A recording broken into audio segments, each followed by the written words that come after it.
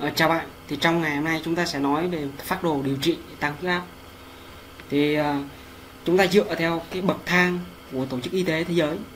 Bậc thang 4 bậc năm 1978 của Tổ chức Y tế Thế giới. Thì trong một cái báo cáo của Ủy ban chuyên viên Tổ chức Y tế năm 1978 thì đã đề nghị một cái phác đồ điều trị gồm có những cái bước sau khi mà điều trị à, tăng huyết áp bậc 1 đối với bậc này thì chúng ta dùng thuốc đơn độc và hoặc là thuốc lợi tiểu hoặc là chặn ừ, giao cảm ừ, beta.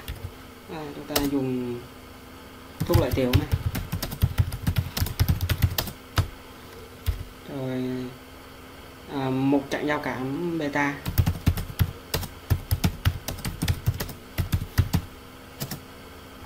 Đấy. À, ở bậc 2 ở bậc 2 thì nếu dùng bậc 1 không đạt được cái kết quả như ý muốn, thì chúng ta chuyển sang cái bậc 2 đúng không? Bậc 2 thì chúng ta dùng hai thuốc ờ, phối hợp, có bốn kiểu phối hợp như sau. Đây là những kiến thức được thầy mình dạy, chứ không phải là mình tạo ra đó là thuốc lợi tiểu thuốc lợi tiểu thuốc lợi tiểu này thì nó chặn giao cảm beta Đấy.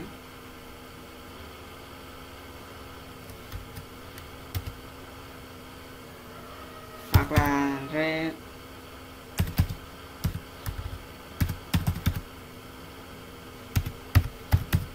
Đấy chặn giao cảm beta. Các thuốc chặn bắt thuốc chặn giao cảm beta.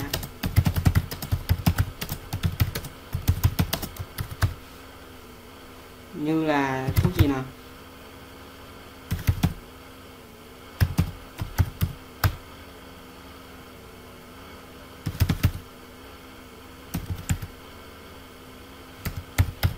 đấy ở bậc 3 bậc 3 thì chúng ta dùng 3 thuốc.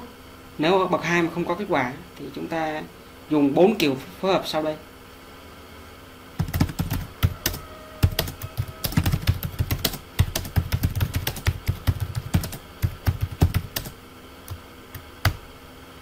Đó là thuốc lợi tiểu.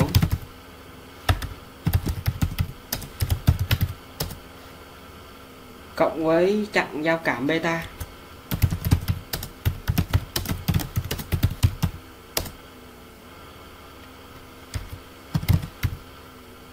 Hydralazine.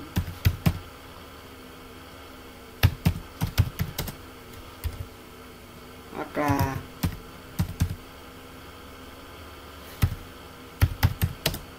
đấy. Vậy thì ờ, ở bậc 4 chúng ta làm gì? Đây, chúng ta có bậc 3 rồi. Bậc 2 bậc 4 bậc 4 thì dùng 4 loại thuốc, bao gồm à, 3 loại thuốc của bậc 3 kết hợp. 3 loại thuốc của bậc 3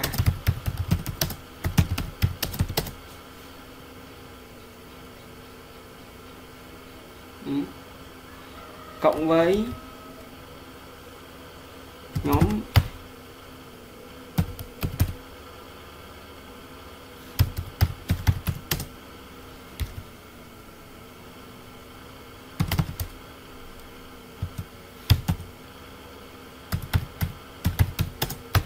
Đấy kết hợp với bốn bậc này thì điều trị biện pháp là chúng ta uh, kết hợp với các biện pháp là không dùng thuốc nữa Đấy.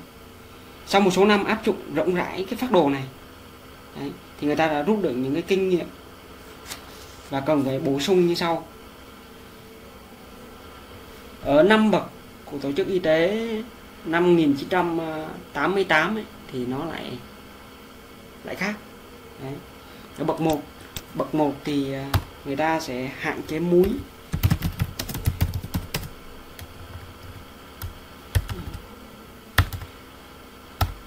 À nhầm. Có một cái phát đồ khác nữa nhé phát đồ khác.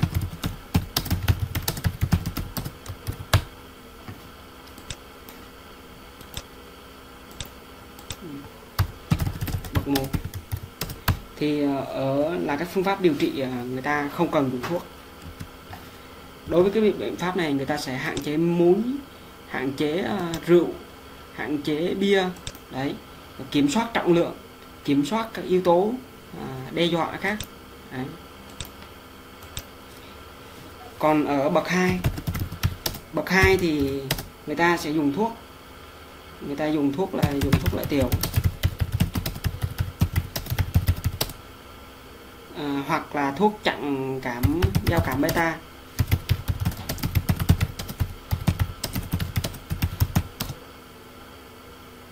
chặn dòng canxi Rồi.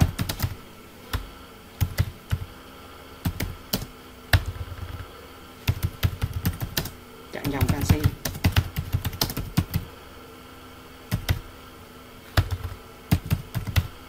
Ừ.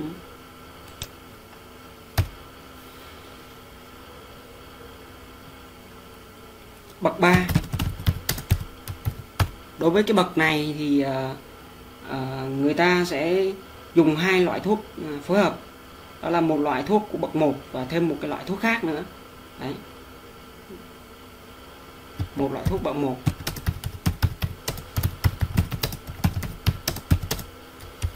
thuốc khác. Đấy.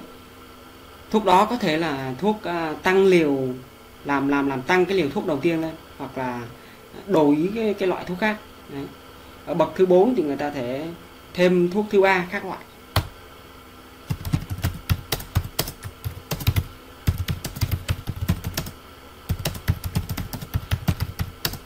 Đấy.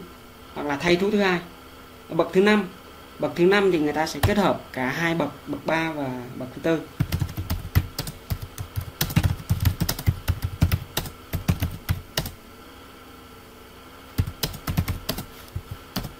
Đấy.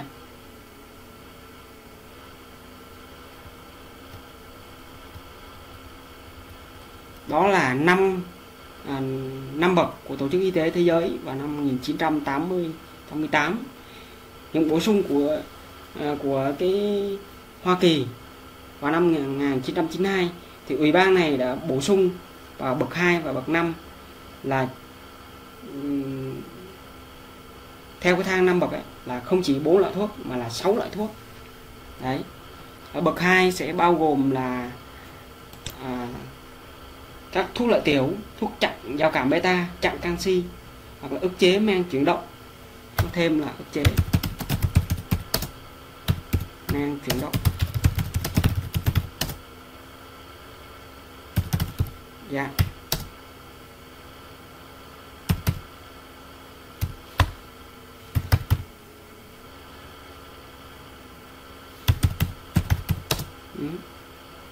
Hoặc là um, một chặng alpha.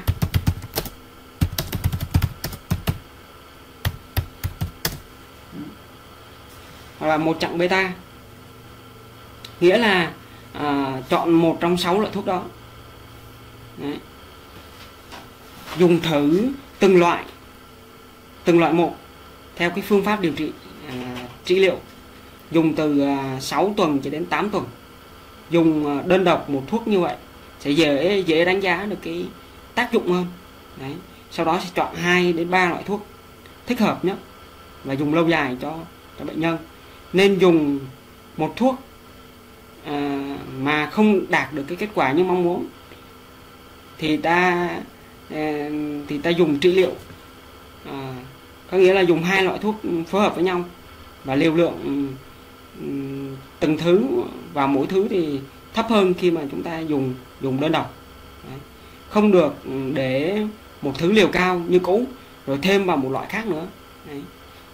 giảm liều của mỗi thứ nhằm để để để giảm cái tác dụng phụ bất lợi của của chúng nhắc lại là à, chúng ta nên nên dùng một cái thuốc mà không đạt nếu mà trong trường hợp chúng ta dùng một thuốc không đạt kết quả như mong muốn thì chúng ta dùng hai loại thuốc phối hợp với nhau.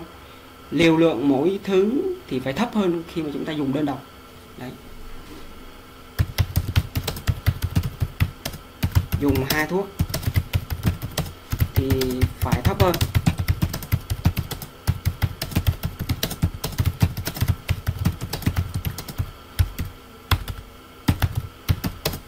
Đấy.